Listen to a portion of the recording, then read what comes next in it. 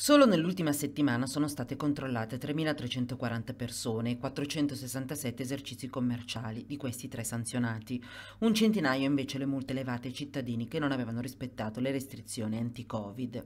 Nei guai anche il gestore di un bar della frazione Pare di Valmadrera, dove i carabinieri nelle scorse ore hanno accertato a notte tarda, intorno a mezzanotte, ben oltre il coprifuoco, la presenza della titolare che consentiva la consumazione a tre avventori. Tutti sono stati contravvenzionati ed è stata disposta la chiusura del locale per cinque giorni, dal 30 marzo al 3 aprile. L'azione delle forze dell'ordine sarà rafforzata in vista delle festività pasquali. La decisione è stata presa nell'ambito del Comitato per l'Ordine e la Sicurezza Pubblica.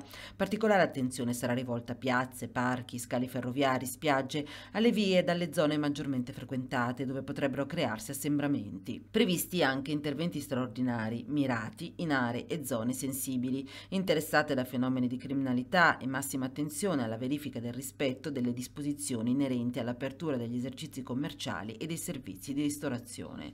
Concorreranno ai controlli anche la Polizia Stradale e la Polizia Ferroviaria.